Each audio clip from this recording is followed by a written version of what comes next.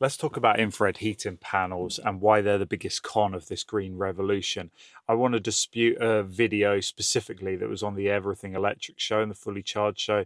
And I, whilst I think that's a great platform, I think this particular video was really missing any critical scrutiny, any interrogation, and the claims made by the CEO of Herschel Infrared, Paul Moore, Paul Morey, uh, were verging on disinformation and potentially dangerous in preventing us moving forward with the most viable solutions to heating our homes during this green revolution. The one time that Robert asked a very pertinent question, Paul Morey, he just shut it down and moved on. He didn't answer the question and just deflected it with uh, some, I don't know, questionable tactics. Anyway, there's a lot of claims in the video. I want to run through a few of those claims. Let me know in the comments exactly what you think of these claims. Claim number one heat pumps won't work in 90% of our housing stock. We know that that is just untrue, that there's some people who have put figures of 20% of our housing stock are not really suitable for heat pumps. Some people say as little as 10% are not suitable. We know that if the emitters are sized correctly, any house, any property, any building can be heated with heat pumps. And we're seeing around the country now, great massive cathedrals are now being heated with heat pumps. They just have to size the emitters and the pipework correctly. Um, they claim that infrared is more comfortable. I'll come back to this claim and why I don't believe this um, personally, because I have had some experience with infrared heating panels. But uh, you can see that my forehead is burnt from a bit of sunburn. Um, it's sort of the way that infrared works. Um, and you know, I'm not saying you're going to get burnt by an infrared heating panel. Sorry, if I shouldn't have even mentioned that. Um, they the comparison they make is is like sitting around a campfire. Well, guess what? If you sit around a campfire, if you're facing the fire, then great. The front of you is warm the back of you is freezing. So you turn yourself around like a spit roast, and then guess what? Oh, you've got a nice warm back, but now your nose is freezing, your your hands are freezing unless you're holding them behind you. It it just isn't a viable way to heat a home. They talk about putting the panels on the ceiling. Yeah, guess what? I tried that also in an office. We with a false ceiling, we cable tied up an infrared heating panel um, on you know pop up the false ceiling tiles and cable tie it on the bars because they're quite lightweight. And um, my feet under the desk were just absolutely frozen because no heat would penetrate through there because of the shading effect. If you don't have line of sight you're not getting warmed by infrared. They talk about thermal mass loading with infrared. Uh, well i've tried over hours and hours and hours and running infrared panels for 24 hours a day.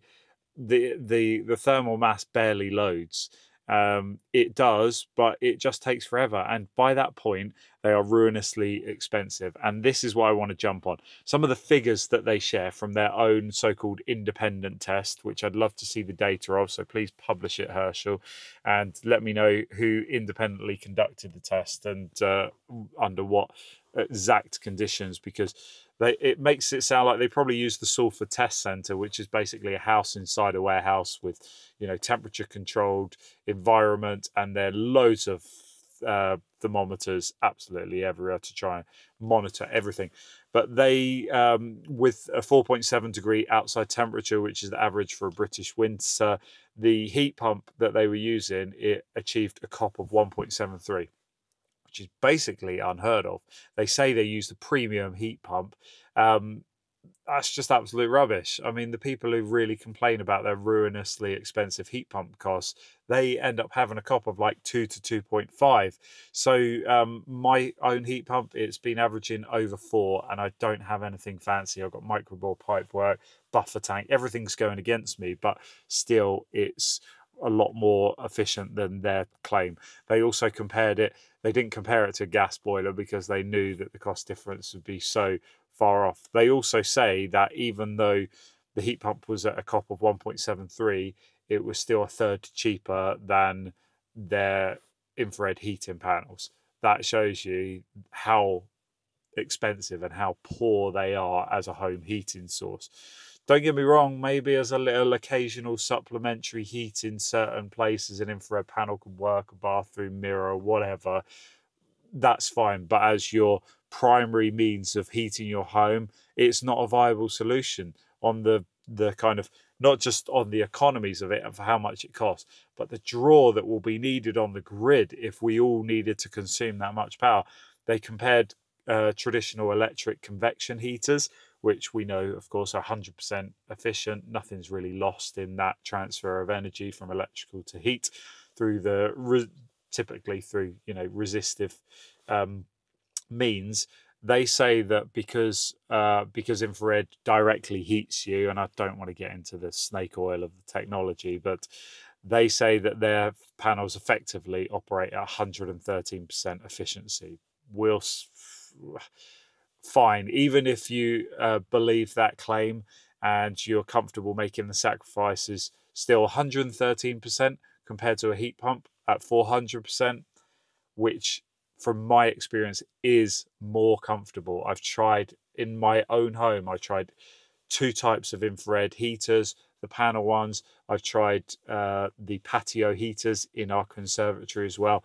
Quick 20 minute in and out to, you know, take the chill off while we were eating in a conservatory. Fine as occasional use, but it's not a primary heat source. Now we have insulated that conservatory. We've put large radiators and we've got an air to water heat system. Uh, heat pump system, and that is far more comfortable and consistent. And the thermal mass is loaded nicely, and it isn't ruinously expensive. Um, they talk about um, yeah, they talk about the thermal mass loading and how infrared panels are better at that than any other form of heating. I just don't agree, and I haven't experienced that. They talk about it resolving mold and damp problems. Well, not at all, because most mold and damp problems are behind furniture, and it's where there's little to no airflow. And you're talking about removing all the convection benefits that traditional heating has. So there's going to be no airflow around those mold and damp issues.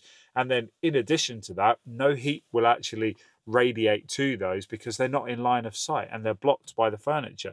So, actually, their claim of making it better, it, it will, you know, the, the science is stacked against them.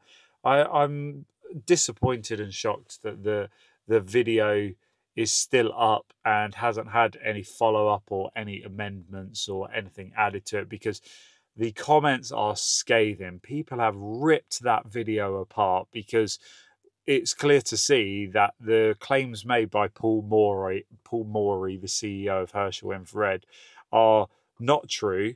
Um, are in some cases a little bit of a grey area and open to interpretation, and they're maybe picking or choosing the figures, and it's it's it's disappointing because it gives a lot of fuel to those people that are um, critical of this green transition that we're in. It adds to their propaganda, and it's an easy target because of the the ridiculous running costs. People can't afford to run their gas boilers. How are they going to afford to run these infrared heating panels? I just don't know. There's so much more I could say. Um, I haven't spoken about this in the past, but I've alluded to it several times. The company that uh, supplied me with 200, 400, and 600 watt test panels, um, they took them back and their customer service was brilliant.